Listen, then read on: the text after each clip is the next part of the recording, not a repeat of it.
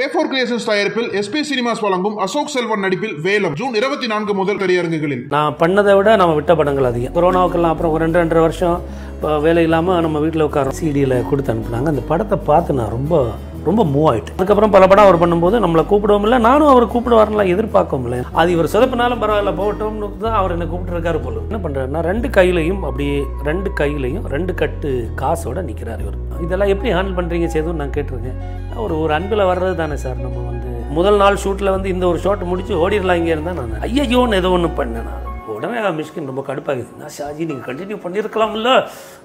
ஒரு that was cruelty the director done to you இப்படி பண்ணவே கூடாது ஒரு முதல் நடிகனுக்கு. அந்த டயலாக் நான் பேசினதுனால எனக்கு எந்த படத்தில் போனாலும் பக்கம் பக்கமாக கத்த கத்தையாக டயலாக்ஸ் கொடுக்குறாங்க. நம்ம ரொம்ப லிபரலான லிபரேட்டடான இஷ்டத்துக்கு வாழ்ந்த ஒரு ஆளாக இருக்கும்போது சினிமாவில் நீங்கள் இஷ்டத்துக்கு வாழ முடியாது. அப்புறம் பெரிய ஒரு ஸ்டார்டம்லாம் சொல்லுவாங்க. அந்த ஸ்டார்டத்துக்காக அவங்க பண்ணுற போராட்டங்களும் டிசிப்ளினும் எவ்வளோ ஒன்று இப்போ உதாரணத்துக்கு விஜய் சார் நீங்கள் தெரியும். ஒரு எனக்கு அவருக்கு ஒரு நாலு வயசு வித்தியாசம் தான் ஹிந்திலலாம் நடிகர்கள் காலையில் ஆறு மணின்னு சொன்னாலும் ரெண்டு மணிக்கு தான் வருவாங்க. எனக்கு அவருக்கு சண்டை ஆரம்பத்தில் இருந்தால் உடனே அது என் ஷாஜிக்கும் செல்வராகனுக்கும் சண்டைலாம் போடுறாங்க. வெட்டி எடுத்து.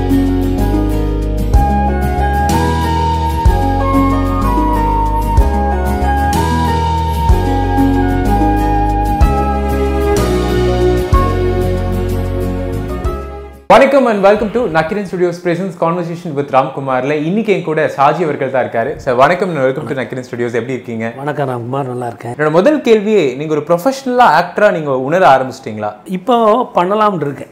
நான் ஆரம்பத்தில் ரொம்ப ரிலக்டன்ட் டாக்டர் ஆமா. நான் விரும்பி நடிக்க விரும்பி ஆக்டிங்க்கு வந்த ஆள் இல்லை நான். என்னுடைய முதல் படம் வ வற்புறுத்தி வலுக்கட்டாயமாக நடிக்க வச்சது அப்புறம் நிறைய படங்கள் நான் பண்ணணுமா வேண்டாமான்னு யோசிச்சு நான் பண்ணதை விட நம்ம விட்ட படங்கள் அதிகம்.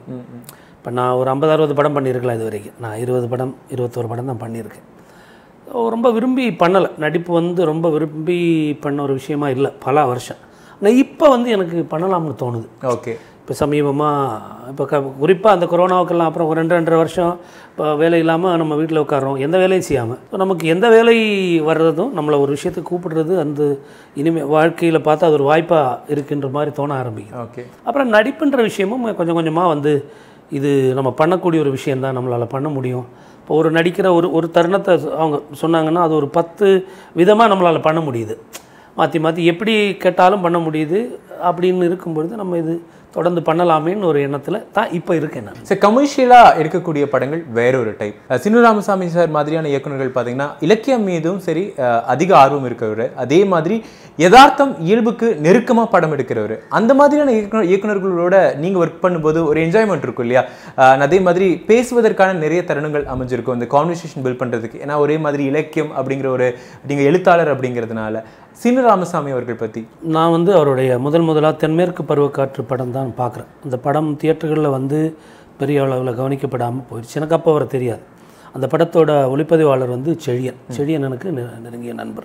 செழியன் சொல்லி தான் ஒரு நாள் தற்செயலாக செழியன் எந்த படம் என்னென்ன படங்கள் போயிட்டுருக்குன்னு போது தென்மேற்கு பருவக்காற்றுன்னு ஒரு படம் பண்ணி முடித்தேன் ஆமாம் எங்கேயோ பார்த்தேனே அப்படின்னு சொன்னேன். இந்த படம் வந்து போயிடுச்சு நீங்கள் பார்க்குறீங்களா படத்தைன்னு கேட்டேன் அவசியம் நான் பார்க்குறேன்னு சொன்னேன். அப்போ அடுத்த நாளில் எனக்கு வந்து அப்போ ஒரு அப்போல்லாம் சிடி தான். சிடியில் கொடுத்து அனுப்புனாங்க. அந்த படத்தை பார்த்து நான் ரொம்ப ரொம்ப மூவ் ஆயிட்டேன். நான் உடனே அவர் டேரக்டரை பேசணும்னு சொல்லிவிட்டு அவர்கிட்ட ஃபோனில் பேசினேன். அன்னைக்கு ஆரம்பித்த ஒரு நட்பும் தொடர்பும் தான் எனக்கு அவருடைய இது அதோட நாங்கள் ரொம்ப நெருங்கிய நண்பர்கள் ஆகிட்டோம் எனக்கு வந்து ஆனால் என்னை ஒரு நடிகனை அவர் பார்க்கல. அவர் வந்து எப்போவுமே ஒரு எழுத்தாளனா அல்லது ஒரு திரை விமர்சகனா அல்லது ஒரு இசை விமர்சகர் இப்படி தான் அவர் பார்த்துருக்கார் ஒழிய ஒரு நடிகனா அவர் என்னை பார்த்த மாதிரி எனக்கு தெரியல. எந்த படங்கள் அதுக்கப்புறம் பல படம் அவர் பண்ணும்போது நம்மளை கூப்பிடவும் இல்லை நானும் அவர் கூப்பிடுவாருலாம் எதிர்பார்க்கவும் இல்லை எனக்கு அந்த மாதிரியான எதிர்பார்ப்புகள்லாம் எதுவும் ஒன்றும் இல்லை. அப்புறம் திடீர்னு கண்ணை கலைமானேன்னு அவர் ஒரு படம் பண்ணும்போது அதில் ஒரு சின்ன கேரக்டர் இருக்குது நீங்கள் பண்ணுறீங்களான்னு கேட்டார். பண்ணலாம் தான். இப்போ என்ன நம்ம நடிகன் என்ற மாதிரியாச்சு அவர் ஒருபோதும் வந்து நம்மளை வந்து இப்படி பண்ணுங்க இப்படி பண்ணுங்க. அவர் வந்து ரொம்ப நீட்டாக விளக்குவார். அந்த சீன் என்ன அதோட தாற்பயம் என்ன எதுக்காக அந்த சீன் அதை உள்வாங்கி நீங்கள் அதை அதை புரிந்து உணர்ந்து கொண்டு நீங்கள் அதை பண்ணிங்கனாலே போதும். எனக்கு வந்து கண்ணை கலைமானே ஒரு ரொம்ப அப்புறம் நானும் ஒரு என்னையும் அவர் வந்து சரி இது ஒரு சின்ன கேரக்டர் கண்ணை கலைமான இல்லை. அது இவர் சொதப்பினாலும் பரவாயில்ல போகட்டும்னு தான் அவர் என்னை கூப்பிட்டுருக்காரு போல இருக்கு. ஆனால் அந்த படத்தில் நான் ஒர்க் பண்ணுற விதமும் நான் பார்த்ததுக்கப்புறம் தான் மாமனிதனுக்கு என்ன கூப்பிடுறாரு. இதுவும் இது இந்த படம் நீங்கள் பண்ணுங்க அப்படின்னு சொல்லிட்டு. ஓ, சீனு கூட என்னுடைய பயணம் என்பது ரொம்ப ரொம்ப சுவாரஸ்யமான ஒரு பயணம். அவர் வந்து எதையும் வீணடிக்கிறதில்ல நேரத்தை. ஒரு குறிப்பிட்ட நேரத்துக்குள்ளே கரெக்டாக எடுக்க வேண்டிய நினச்ச அத்தனை ஷோட்டும் முடிச்சு முடிச்சிருவார் அந்த நேரத்துக்குள்ளே. ரொம்ப அலட்டிக்கிறது இல்லை ஒரு விஷயம் சரியாக வரலன்னு அவர் அவரோட பார்வையில் ஒரு முறை பார்ப்பார் ரெண்டு முறை பார்ப்பார். மூணாவது முறை அது அந்த ஆளை அந்த கேரக்டரை வச்சுக்கிட்டு கஷ்டப்படவே மாட்டார். வேற ஒரு பாயிண்ட்டுக்கு மாற்றுவார் இல்லது இன்னொரு கேரக்டரோட பாயிண்ட் ஆஃப் வியூவில் இருந்து எடுப்பார். எப் அந்த மாதிரி ஒரு ரொம்ப ரொம்ப ஃப்ளெக்சிபிளான அதே நேரத்தில் ரொம்ப வேகமாக இயங்கக்கூடிய ஒரு டேரக்டர் சார் அடுத்து விஜய் சேதுபதி அவர்கள். நடிப்பையும் தாண்டி அவர்கிட்ட பழகி பார்க்குறதுக்கு நிறைய பேர் என்ன சொல்லுவாங்க அப்படின்னா அவர் பழகி பார்க்குறதுக்கு அதே மாதிரி ரொம்ப என்ஜாயபிளான ஒரு பர்சன் அப்படின்னு சொல்லுவாங்க. அதே மாதிரி அவர் அன்பு அதிகமாக கொடுக்கக்கூடியவர். அதே மாதிரி ரொம்ப நிறைய சந்தோஷமான தருணங்களை கொடுக்கக்கூடிய முத்தத்தை நிறைய கொடுக்கக்கூடிய ஒரு நபர் அப்படின்னு சொல்லுவாங்க. உங்களுக்கும் விஜய் சேதுபதி அவர்களுக்கும் ஆன அந்த அனுபவம் எப்படி இருந்துச்சு மாமனிதனில்? எனக்கு மாமனிதன் தான். மாமனிதனுக்கு அப்புறம் சில அனுபவங்கள் இருக்குது மாமனிதனுக்குள்ளே உள்ள அனுபவங்கள் அப்படின்றது எனக்கு முதல்ல ஞாபகம் இருக்கிறது ஒரு ஒரு புத்தாண்டு அன்றைக்கி நாங்கள் ஷூட் பண்ணிகிட்ருக்குறோம் புத்தாண்டு காலையில் அந்த அவா ஆண்டிப்பட்டி பகுதியில் கிராமத்தில் நாங்கள் ஷூட் பண்ணிகிட்ருக்கோம் புத்தாண்டு காலையில் இவர் என்ன பண்ணுறாருன்னா நான் காலையில் நான் ரெடியாகி ஷூட்டுக்கு வரேன். வரும்பொழுது என்ன பண்ணுறாருன்னா ரெண்டு கையிலையும் அப்படியே ரெண்டு கையிலையும் ரெண்டு கட்டு காசோட நிற்கிறார் இவர். அப்புறம் நீங்கள் வந்து அந்த யூனிட்டில் ஒர்க் பண்ணுற அத்தனை பேருமே அதில் போய் எவ்வளோ அவங்களுக்கு வேணுமோ அப்போல்லாம் அந்த ரெண்டாயிரம் நோட் இருந்த காலம்னு நினைக்கிறேன். அவர் அப்படியே அப்படியே கையில் பிடிச்சிருக்கார் நீங்கள் எடுக்கலாம். ஒன்று எடுக்கலாம் ரெண்டு எடுக்கலாம் மூணு எடுக்கலாம் அது அவங்க விருப்பத்துக்கும் தேவைக்கு தகுந்த மாதிரி எடுத்துகிட்டே இருக்கலாம். எனக்கு ரொம்ப ஆச்சரியமாக இருந்தது. நான் அப்படி ஒரு விஷயத்தை அதுக்கு முன்னாடி பார்த்ததே இல்லை. நானும் போய் வாங்கினேன். உடனே ஒன்று ஒரு ஒரு ஒரு நோட்டை எடுத்தேன் எடுக்கும்போது சார் இன்னொன்று எடுத்துங்க சார் அப்படின்றார் அவர். இப்போ ஒருத்தர் ஒன்று எடுத்துகிட்டு ஒருத்தர் போகிறேன்னா இன்னும் எடுங்க ஒன்று எடுங்க ரெண்டு எடுங்கன்னு அவங்கள ஊக்குவிக்கிறாங்க. அந்த மாதிரி இது நான் பார்த்த ஒரு ரொம்ப ஆச்சரியமாக அவரோட பிஹேவியரில் பார்த்த ஒரு விஷயம். அது மா மாமனிதன் படப்பிடிப்பில் நடந்த ஒரு விஷயம். பொதுவாகவே மற்றவர்களோடு அவர் பழகுறதெல்லாம் நான் பார்த்துருக்கேன். ரொம்ப எளிமையாக அவரோட ஸ்டார்டத்தோட எந்த பாரமும் இல்லாமல் யாரு கூடயும் நானே அந்த பெரிய க்ரௌடிலலாம் இறங்கி போய் மோபிங் ஆகிறதெல்லாம் வீடியோலாம் பார்த்துருக்கேன். எனக்கே அது பார்க்கும்போது பயமாக இருக்கும் அவ்வளோ ஆளுங்க வந்து மோப் பண்ணும் பொழுது ஆனால் அதெல்லாம் ரொம்ப சாதாரணமாகவே எடுத்துக்கிறாங்க. இதெல்லாம் எப்படி ஹேண்டில் பண்ணுறீங்க சேதுன்னு நான் கேட்டிருக்கேன்.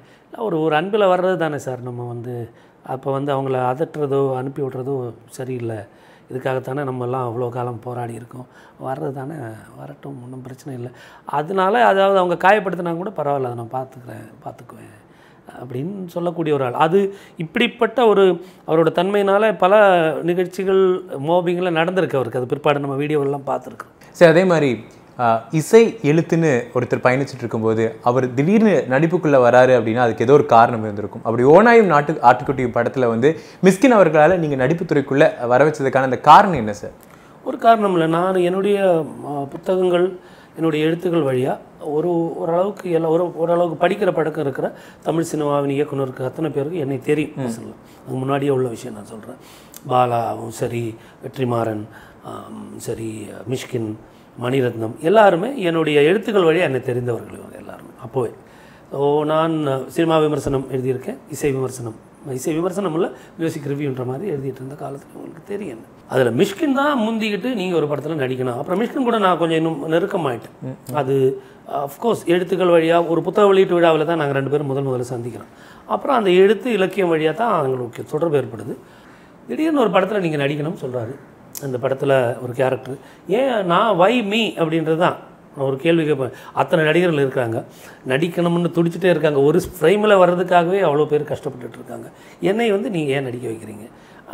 எது எதனாலன்னு கேட்பேன் அப்போ ஒரு சொன்ன இல்லை இல்லை அந்த கேரக்டர் எழுதும்போது உங்களுடைய பாடி லாங்குவேஜ் நீங்கள் பேசுகிற விதம் நீங்கள் ஒரு விஷயத்தை அணுகிற விதமெல்லாம் இயக்குனர் தானே. ஆமா. அது மிஷ்கின் மாதிரி ஒரு இயக்குனர் ரொம்ப கூர்மையாக பார்க்கக்கூடிய ஒரு அதெல்லாம் பார்த்துட்டு எனக்கு அந்த மாதிரி ஒரு ஆள் தான் இந்த கேரக்டர் அதை எழுதும்போதே மைண்டில் அந்த உங்களுடைய ஒரு ஒரு பாணி தான் ஒரு தான் வந்திருக்கு. நீங்கள் நடிக்கணும்ட்டார். முடியாதுன்னு சொன்னேன். அப்புறம் இல்லை இல்லை அவர் முடியாதுன்னா ஒரு ஒரு நல்ல இயக்குனர் பொறுத்தவரையில் அது மிஷ்கின் ஆகட்டும் சீனராமசாமி ஆகட்டும் வெற்றிமாறன் ஆகட்டும் மணிரத்னம் ஆகட்டும் பாலாகட்டும். ஒரு விஷயம் அவங்க விரும்பினா நடக்கணும்னு நினச்சா அது நோன்ற ஆன்சர் அவங்க எடுத்துக்க மாட்டாங்க. ஒரு நடிகன் எங்களுக்கு வேணும்னு நினச்சா அந்த நடிகன் எந்த எவ்வளோ கஷ்டப்பட்டாலும் எவ்வளோ சிரமப்பட்டாலும் அந்த ஆளை கொண்டு வந்து நடிக்க வச்சு ஆகும். அது இப்போ அறிமுக நடிகன் ஆனாலும் சரி பெரிய நடிகன் ஆனாலும் சரி மற்றபடி எந்த எனக்கு நடிக்கணும்னு ஆசையும் இல்லை. போகும்போது கூட ரொம்ப ஸ்கெப்டிக்கலாக தான் போனேன். ஒரு வழியில் அந்த படம் பண்ணும்போது கூட ஆரம்பமெல்லாம் முதல் நாள் ஷூட்டில் வந்து இந்த ஒரு ஷாட் முடிச்சு ஓடிடலாம் இங்கே இருந்தால் நான். அதான் அதான் என்னோட அடுத்த கேள்வியா இருந்துச்சு. ஏன்னா அந்த முதல் ஷாட்டே ஒருத்தருக்கு அறுபத்தி நாலு டேக் போய் சிக்ஸ்டி ஃபிஃப்த் டேக் வரைக்கும் வருவது எந்த ஒரு கான்ஃபிடன்ஸ்ல திரும்ப நம்ம நடிக்கலாம். கண்டிப்பா இந்த பயணத்தை நம்ம தொடரலாம்னு ஒரு கான்ஃபிடன்ஸ் வந்துச்சு. அதாவது இவர் ஒரு சிங்கிள் ஷாட் அது. ஒன்றரை பேஜ் டயலாக் ஒரே சிங்கிள் ஷாட் அந்த அப்புறம் சிங்கிள் ஷாட்ன்றது கேமரா ஸ்டாட்டிக்கும் இல்லை. கேமரா மூவ்மெண்ட் இருக்குது கேமரா தான் மூவ் ஆகும். அப்போது நீங்கள் நீங்கள் இந்த மொட் ஒட்டுமொத்த விஷயங்களையும் நீங்கள் பெர்ஃபார்ம் பண்ணிக்கிட்டே இருக்கணும். அப்புறம் நம்ம கோ கோ ஆக்டர்ஸ் இருக்காங்க இல்லையா அவங்கெல்லாம் காணாமல் போயிடுவாங்க ஒரு ஒரு பாயிண்டில் காணாமல் போயிடுவாங்கன்னு அவங்கள கடந்து கேமரா வர்றதில்ல. அவங்களே சீனில் இருந்து இறங்கி மறையணும்.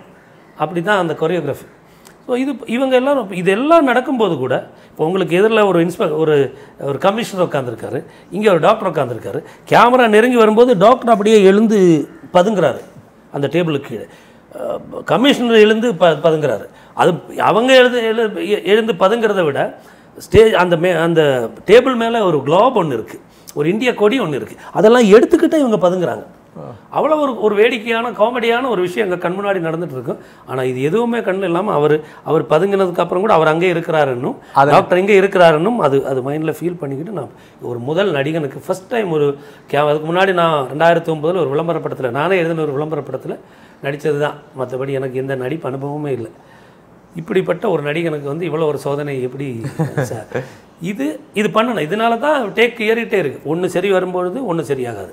ஒன்று சரி வரும்போது ஒன்று சரியாகாது. நான் கரெக்டாக வந்தேன்னு சொல்லும்போது ஒன்றரை பேஜ் டயலாக் அந்த டயலாக் மாற்றியும் சொல்ல முடியாது. எக்ஸாக்டாக நீங்கள் ஸ்டெப் பை ஸ்டெப்பாக அந்த டயலாகே சொல்லிட்டு கரெக்டாக ஸோ இது இதனால தான் டேக் நிறைய வாங்கி ஒரு இப்போ ஒரு நாற்பத்தஞ்சாவது டேக்கில் என்னமோ கரெக்டாக வந்துடுச்சுன்னு உடனே எண்டில் நான் கொஞ்சம் சொதப்பிட்டேன். ஐயோன்னு ஏதோ ஒன்று பண்ணேன் நான். உடனே மிஷ்கின் ரொம்ப கடுப்பாகுது நான் ஷாஜி நீங்கள் கண்டினியூ பண்ணியிருக்கலாம்ல? அப்படின்னு கேட்டார். அது கண்டு அப் அப்புறம் போய் போய் போய் அறுபத்தஞ்சு டேக் வாங்கிருச்சு அது. அப்புறம் அந்த ஷார்ட்டை பற்றி நான் ஒரு ஹிந்தி நடிகர் கூட நடிச்சிட்டு இருந்தேன். மனிஷ் சௌத்ரின்னு சொல்லி ஒரு ஆக்டர் கூட. ஒரு மலையாள படத்தில் நடிச்சிட்டு இருக்கும்போது இதுதான் என்னுடைய முதல் திரை அனுபவம்னு சொன்னேன். அவர் வந்து பயங்கர கடுப்பாகி ஒரு that was a cruelty that director done to you. அப்படின்னு இப்படி பண்ணவே கூடாது. ஒரு முதல் நடிகனுக்கு எப்படிங்க இப்படி பண்ண முடியும்? அது வந்து தட் வாஸ் cruel thing. சொன்னேன். நான் சொன்னேன் அது குருவலோ இல்லையோ? என்னுடைய சினிமா பள்ளி என்னுடைய ஆக்டிங் ப பட்டறைன்றது அதுதான். அந்த ஷர்ட்டு தான். அதனால தான் மேபி அந்த ஷர்ட்டில் தான் அது பண்ணி முடிச்ச உடனே எனக்கு இவர் வந்து கட்டி பிடிச்சிட்டாரு. எனக்கு தெரிஞ்சிருச்சு. மேபி நம்மளாலேயும் ஒரு ஒரு பெரிய இப்போ அதுக்கப்புறம் அந்த டயலாக் நான் பேசுனதுனால எனக்கு எந்த படத்தில் போனாலும் பக்கம் பக்கமாக கத்த கத்தையாக டயலாக்ஸ் கொடுக்குறாங்க. கொடுத்துறாங்க. நான் பேசிட்டு தான் இருக்கேன் டயலாக்ஸ் டயலாக்ஸ் எனக்கு ஒரு பிரச்சனை இல்லை நான் அதுக்கும் அப்புறம் லங்தியான சிங்கிள் ஷாட்டாக இருந்தாலும் முன்னாடி என்ன நடந்தாலும் நீங்கள் உங்களுடைய விஷயத்தை தான் பண்ணணுன்றது இதெல்லாம் என்னுடைய ட்ரைனிங் கிரவுண்ட் அந்த ஒரு ஷாட் ஓகே சார் இசை அப்படிங்கிற ஒரு விஷயத்த நீங்கள் அனுபவித்து கொண்டாடுறீங்க. அது உங்களுடைய எழுத்துக்கள் மூலமாக எஃபிலியோ இல்லை புத்தகங்கள் மூலமாகவும் நாங்கள் பார்க்க முடியுது. ஒரு தனிமனிதனுடைய வாழ்க்கையில் இசை இல்லை பாடல்கள் அப்படிங்கிறது எந்த அளவுக்கு முக்கியம் சார் ஒரு மனுஷனோட அன்றாட வாழ்க்கையோட துயரங்கள்ல இருந்து அவனை விடுபட செய்து அவனை ஒரு ஒரு ஒரு கனவு உலகங்களுக்கு லைஃப் வேற மாதிரி இருக்க முடியும். நாளைக்கு வருங்காலத்தில் வாழ்க்கை இப்படி இருக்க போகிறதில்ல இது பெட்டராக தான் இருக்க போகுதுன்னு ஒரு ஒரு எண்ணத்தை உருவாக்கக்கூடிய ஒரு விஷயம். இசை என்பது நான் என்னுடைய சின்ன வயசில் நான் கண்டறிந்திருக்கிறேன் ஸோ அதனாலே மேபி அந்த இசை எல்லாத்தோடையும் ஆரம்பம்ன்றது இசை தான். இலக்கியம் நான் இப்போ புத்தகங்கள் பதிமூணு புத்தகம் எழுதியிருக்கேன் தமிழில் மட்டும். அப்புறம் மலையாளத்தில் எழுதுகிறேன் ஆங்கிலத்தில் எழுதியிருக்கேன். பட் எல்லாத்தோடையும் ஒரு தொடக்க புள்ளி ஆரம்பம் என்பது இசை தான். இன்ன வரைக்கும் அப்படி தான் இருக்குது சரி நீங்க ஆரம்ப காலத்துல பாத்தீங்கன்னா உங்களுடைய நட்பு வட்டாரத்துல படங்கள் பண்ணிட்டு இருந்தீங்க அதுக்கப்புறமா வந்து அஹ், நீங்க ஒரு ப்ரொஃபஷனல் ஆக்டரா நீங்க நடிச்சிருப்பீங்க. பட் அந்த டைம்ல ஒரு சில சம்பவங்களோ இல்லை நிகழ்வுகளோ அன்கம்ஃபர்டபுளா இருந்திருக்கும். தவிர்க்க முடியாத சூழ்நிலையில அது ஒரு அன்கம்ஃபர்டபுளான மூமெண்ட் இருந்திருக்கும். அது எப்படி நீங்க பார்த்திருப்பீங்க? சார் அது அன்கம்ஃபர்டபுள்ன்றது நம்மளோட போதாமை தான் நான் இப்போ எனக்கு தெரியும் அப்போ தெரியலை. நம்ம நமக்கு இது இந்த இடம் நமக்கு பரிச்சயம் இல்லாத ஒரு இடம். நமக்கு முன்னாடி பழக்கம் இல்லாத ஒரு இடம். பழக்கம் இல்லாத ஒரு இடத்துக்கு வரும்போது நம்மளுடைய பழைய எதிர்பார்ப்புகள் நம்ம வாழ்ந்த நம்ம ரொம்ப லிபரலான லிபரேட்டடான இஷ்டத்துக்கு வாழ்ந்த ஒரு ஆளாக இருக்கும்போது சினிமாவில் நீங்கள் இஷ்டத்துக்கு வாழ முடியாது. சினிமா வந்து ரொம்ப டிசிப்ளின் தேவைப்படக்கூடிய சினிமா நம்ம பார்க்கும்போது பார்ப்போம் நடிகர்களுக்கு கொடை பிடிக்கிறாங்க அவங்களுக்கு வந்து வெயிலே இறங்கலை அப்புறம் பெரிய ஒரு ஸ்டார்டம்லாம் சொல்லுவாங்க. ஆனால் அந்த ஸ்டார்டத்துக்காக அவங்க பண்ணுற போராட்டங்களும் டிசிப்ளினும் எவ்வளோன்னு அது கொஞ்சம் நஞ்சம் இல்லை. இப்போ உதாரணத்துக்கு விஜய் சார் நீங்கள் தெரியும் ஒரு எனக்கு அவருக்கு ஒரு நாலு வயசு வித்தியாசம் தான் ஆனால் பாருங்கள் என்னுடைய எனக்கு என்னுடைய மகன் நான் சின்ன சின்ன நல்ல வயதில் கல்யாணம் பண்ணால் என்னுடைய மகன் எப்படி இருப்பார் அந்த மாதிரி தான் அவர் இருக்காரு. அப்போ அந்த அந்த அதை அப்படி மெயின்டைன் பண்ணுறது எவ்வளோ ஒரு அதுக்காக எவ்வளோ போராடுறாங்க எவ்வளோ கஷ்டப்படுறாங்க அதுக்கு ஒவ்வொரு சின்ன சின்ன விஷயங்களை எவ்வளோ பண்ணுறாங்கன்னு இருக்கு இல்லையா? ரொம்ப டெடிகேஷன் தேவைப்பட்ட ஒரு இடம். அன்கம்ஃபர்டபுள் என்பது என்னுடைய தனிப்பட்ட விஷயத்தில் தான் இருந்திருக்க வழியே சினிமாவில் இல்லை. ஒரு ஒரு ஒரு ஒரு ஒரு ஒரு சில சமயத்தில் ஆறு மணிக்கு நீங்கள் போனால் ஆறரை மணிக்கு ஷோட்டு வச்ச சம்பவங்களும் இருக்குது ஆறு மணிக்கு போயிட்டு அன்னைக்கு ஷோட்டே வராத சம்பவங்களும் இருக்குது அந்த மாதிரி நடந்திருக்குல்ல நடந்திருக்கு நடந்திருக்கு. நான் இங்கே இல்லை. அகமதாபாத் வரைக்கும் காலை ஃப்ளைட்டு பிடிச்சி போய் நைட்டு வரைக்கும் அங்கே உட்காந்து ஒம்பது மணிக்கு வரைக்கும் இருந்து இல்லாமல் இரவு ஃப்ளைட்டில் ஒரு ஷாட்டு கூட இல்லாமல் இரவு ஃப்ளைட்டு திருப்பி வந்திருக்கேன் நான். அகமதாபாத் குஜராத் வரைக்கும். இப்படியெல்லாம் நிறைய நடக்கும். அதுக்கு ஒரு காரணம் வந்து அஃப்கோர்ஸ் சினிமா இங்கே சினிமா அப்படி தான் டெவலப்பாக இருக்குது நீங்கள் அங்கே ஆறு மணிக்கு வேணும். டேரக்டர் எப்போ கூப்பிட்றாரோ அவங்க ஷோட்டுக்கு சார் ரெடியாக இருங்கன்னு சொல்லும்போது டுவெண்ட்டி மினிட்ஸ்க்கு முன்னாடி தான் சொல்லுவாங்க. இப்படி தான் நம்ம சினிமா வளர்ந்துருக்கு. வெஸ்ட்டில் உள்ள மாதிரி ஹாலிவுட்டில் உள்ள மாதிரி முழுக்கமையான ஒரு ப்ரீ ப்ரொடக்ஷனோ பிளானிங்கோ நம்மளுக்கு இங்கே இல்லை. அது த- அது தமிழில் மட்டும் இல்லை. நம்ம இந்திய சினிமாவே இப்படி தான் ஹிந்திலலாம் நடிகர்கள் காலையில் ஆறு மணின்னு சொன்னாலும் ரெண்டு மணிக்கு தான் வருவாங்க. மூணு மணிக்கு தான் வருவாங்க. இப்படி தான் இருக்கும். சில நாள் வந்து நம்ம அஞ்சு மணி ஆறு மணிக்கெல்லாம் வீட்டுக்கு போயிடலாம்னு பிளான் பண்ணும்போது திடீர்னு வந்து சார் ஒம்பது மணின்னு சொல்லுவாங்க. ஒம்பது மணி ஆகும்போது ஒம்பது மணி கிளம்புனோம்னா நைட்டு இல்லை சார் நைட்டு போகும்பாங்க. இதுக்கு நீங்கள் நீங்கள் ஃப்ளெக்சிபிளாக இருக்கணுமே ஒழிய நீங்கள் உங்களுடைய பர்சனலான விஷயங்களை இதில் கொண்டு வந்து இல்லை நான் அப்படியெல்லாம் இல்லை நான் இப்படின்னு சொல்ல முடியாது. நெல்சன் அவர்களுடைய இயக்கத்தில் டாக்டர் படத்தில் ஒரு சீன் தான் இருக்கும். ஒரு பெண் குழந்தைய கொ- தொலைச்ச ஒரு மெட்ரோ டிரைவராக நீங்கள் இருப்பீங்க. அதுக்கப்புறமா ஒரு ஒரு இம்பார்ட்டண்டான கேரக்டர்லாம் நெல்சன் அவர்களுடைய இயக்கத்தில் திரும்பவும் பீச்சில் வந்து தளபதி கூட உங்களை பார்க்க முடிஞ்சு. அந்த பூஜை எப்போ தான் ஃபஸ்ட் டைம் நீங்கள் தளபதியை மீட் பண்ணுறீங்க இல்லையா? ஆமாம் பர்சனலாக ஃபர்ஸ்ட் டைம் அவரை உங்களுக்கு ஹேண்ட் ஷேக் கொடுத்து மீட் பண்ணுறாங்க நான் கொஞ்சம் தள்ளி தான் நின்றுட்டு இருந்தேன். அவர் சார் அப்படின்னு கூப்பிட்டார். நான் போனேன்.